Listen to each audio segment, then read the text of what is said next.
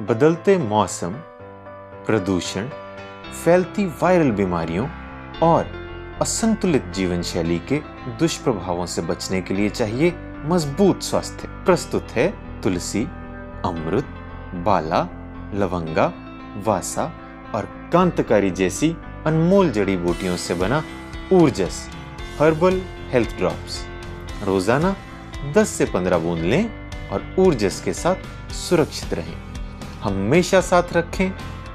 हाओ माँ का ऊर्जस हर्बल हेल्थ ड्रॉप्स।